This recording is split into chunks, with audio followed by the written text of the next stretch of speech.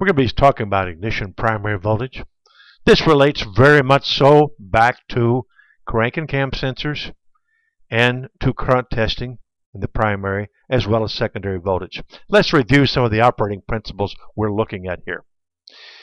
The secondary develops a strong magnetic field around the coil. And when the primary current is stopped, that magnetic field collapses, inducing a voltage into the windings. That is the windings of the primary and secondary. We tie them together because they are identical, and we'll show you about a little later. It usually takes around three and a half milliseconds to build a strong magnetic field to its maximum. That's our peak saturation time. We don't always have that much time available. We'll show you some stuff about that later. And when the field collapses quickly to try to keep the current flowing in the circuit, it's generating a primary voltage spike ranging from 150 to about 400 volts. Typical is somewhere between 320 and 360. But it is vehicle specific and you need to use your test equipment frequently enough to know what's typical for the vehicle you're working on. Now let's review our primary circuit. It's here on the left. Its job is to build a strong magnetic field. We have a current flow through this winding and then we have a core in the center of this winding that concentrates it between the two different transformers. Now, transformer is the word. This is a transformer. It is a step-up transformer, meaning it increases voltage while reducing current. It transfers power.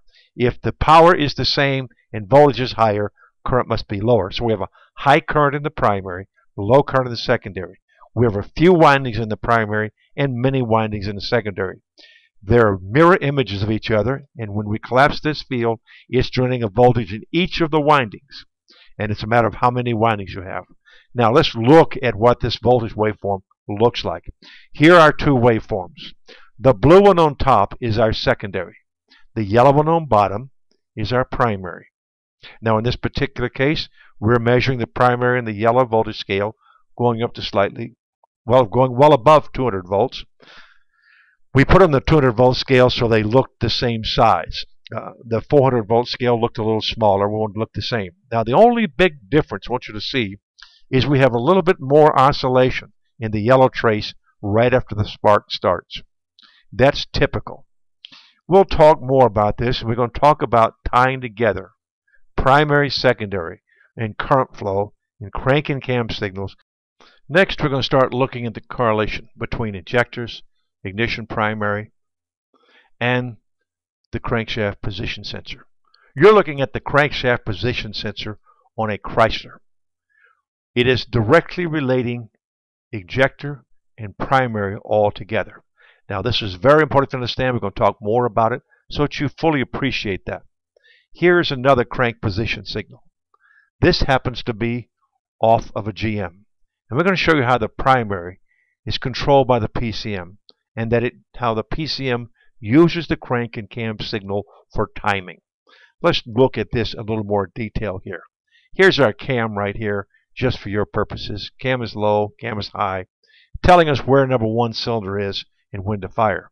But we're going to look at these purple ones here. This is our coil control. It's going to blow low, go up, go high, and then it repeats itself over here. Now notice how this coil control, where we're turning current flow on, this is the signal that's going to talk, tell the computer to turn current flow on to start building the magnetic field around the coil. Notice how tightly it's related to this signal. Here is a 18X signal. At the bottom of the purple is the coil control, in this case electronic spark timing. It's going to be telling the module when to saturate the coil and turn the current flow on and when to turn it off. Notice that each one of these pulses is exactly three 18x signals wide. Now, what we're trying to stress here is the importance of how this relates back to crank and cam. If we're missing pulses in the crank or cam, it completely messes this whole equation up. The computer is relying on this signal to do this work for it. So it doesn't have to do a bunch of complicated computations. Look at coil B here. It's going to go up, and short two times. Let's look at exactly what it's doing there. We talked about it before. Here's a blown up version of it. Look how that purple coil control for current flow perfectly matches the crankshaft signal. It starts up when it goes down and turns off when it comes back to zero. So as this signal goes down and back up, and it doesn't matter if it's a magnetic pickup or a Hall effect. We've shown you both types now. One of them had three pulses in the Hall effect would determine the width of this signal. In this particular case, it's the width of this 1 of 7x signal. We're trying to make sure you understand the importance of this relationship. Now, we do not expect you to do this with your lab scope. But when we're talking about the importance of crank and cam, we want you to understand logically when you see something going wrong in coil primary, coil secondary, and they don't look like they're regularly spaced and doing what you expect them to do, it can be very much caused by the crank and cam signals. Now we've stressed the importance of these time and time again, but want you to see this. We wanted this study to drive home the function of the crank and cam signal plays in the control of the primary. Now the timing of these events will change off idle, but the relationship is going to remain. And some DIS and coil and plug systems use the PCM to control the coil current. That's just a specialized thing. That's what we call it a coil pack versus a DIS module. Here's an example of a coil pack. Notice that primary 1 is controlled on that wire and primary 2 is controlled on here. This is a four-cylinder Ford and we have two coils both controlled by the PCM. We have power going in on the blue wire to both of our coils and the output going to two different spark plugs. Now we can diagnose this by connecting our primary leads to the brown and blue wire on pin 1 and the brown and green wire on pin 3 and we'll be able to get a primary signal. We can go measured on the secondary.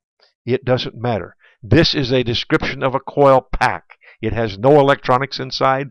All the electronics for switching is done by the PCM. Now here is a secondary signal.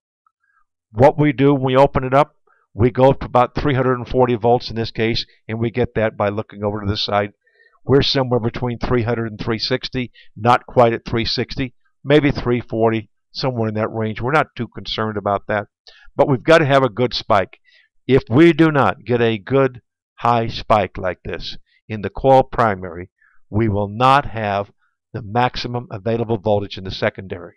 Remember, it is the primary that's turning voltages in all the windings. We just have many more windings in the secondary than we do the primary. And the next thing we want to look at is the spark voltage. Once the spark starts, whether we're looking at primary, secondary, it drops down to a level. In this case, you see that little bit of noise we talked about, little oscillations and the voltage level is about 40 volts. We get that by simply going across and looking that it's slightly less than the 50 volt shown on the other scale. So we have information about both primary and secondary available to you here. We keep tying them together because they are almost identical. They are very much alike. Now let's look at how we utilize these to identify a bad coil plug unit. People say, hey, tell me how to diagnose coil plug. On this one screen, we're going to show you how to diagnose coil plug. In this particular case, we're looking at three signals. The yellow is the control signal. It's going to give us the signal of when to turn current flow on, and that's the blue trace. Current flow goes up, and it goes up quite high. Here's where we turn it on, and then here's where we turn it off. When we turn it off, we find out that we have nearly 15 amps of current flow. Wow, nearly 15 amps.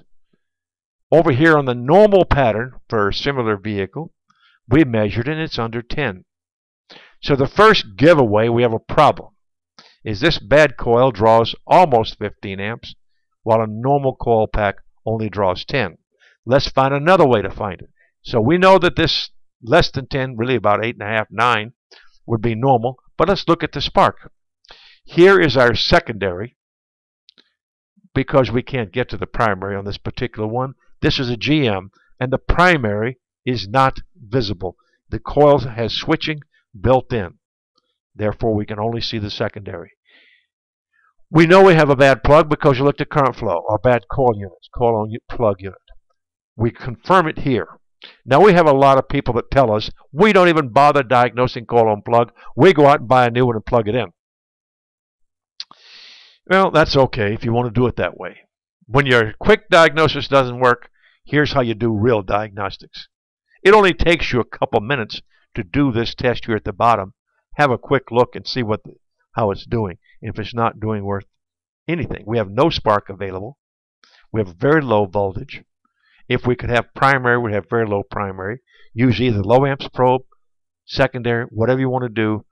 We know it was not a crankshaft position sensor problem because we had a good control signal. Now see how they begin to tie together. This is diagnostics taking you to the next level. And that's important. Now some vehicles are going to use multi-spark ignition systems. This happens to be a secondary problem, a pattern, but we showed you before they all go together. We'll talk about current flow on these and have a look at it. Here's current flow from our library. At low idle speed, we may have two or three sparks. As we increase slightly, we'll see them drop down. We judge the peak amps always by the first pulse.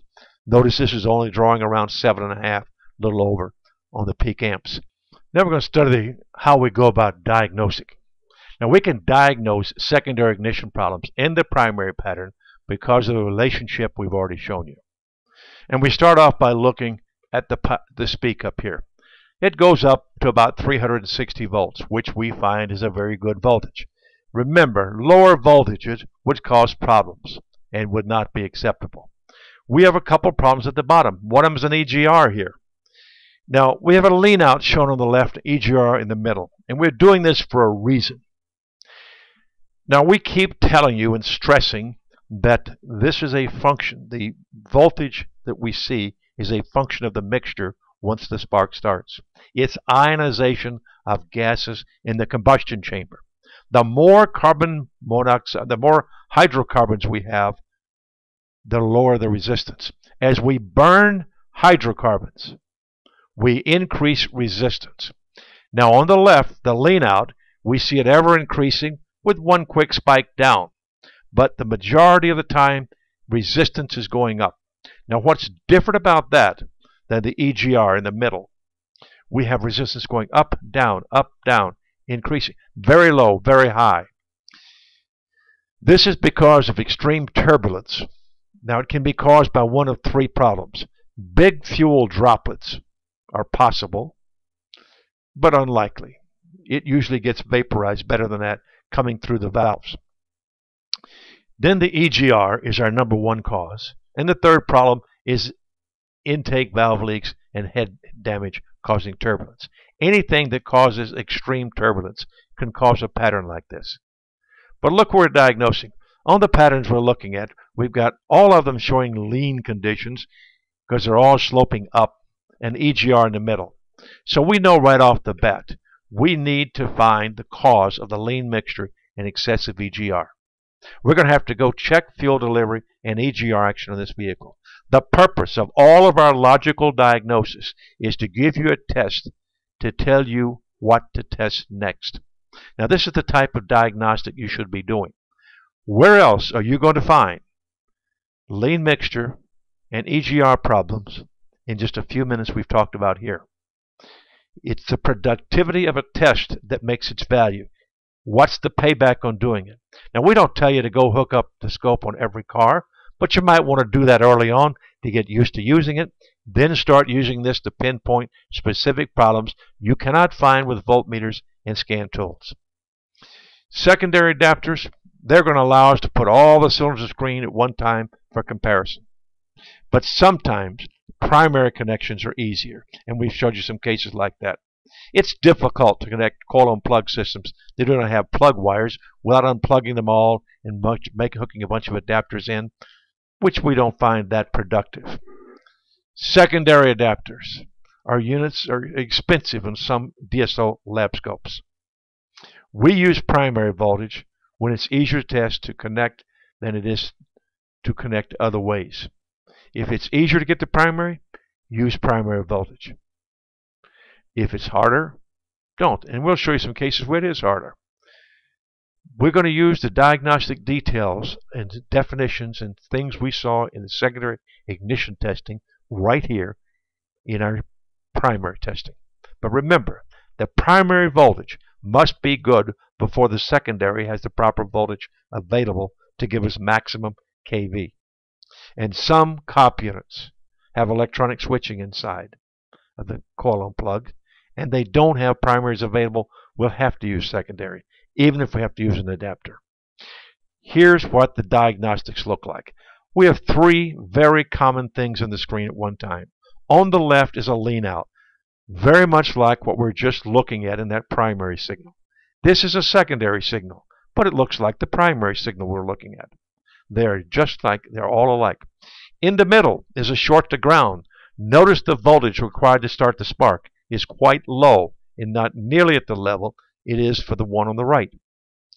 Look for firing outside the cylinder where the mixture is not compressed and we don't have compression to fight. And look at the bad plug wire over here.